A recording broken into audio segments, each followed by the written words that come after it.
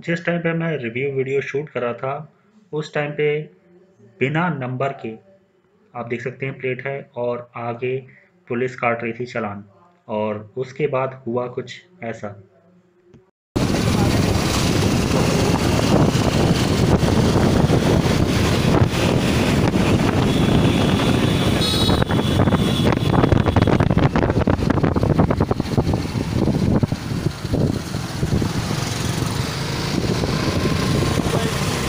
Thank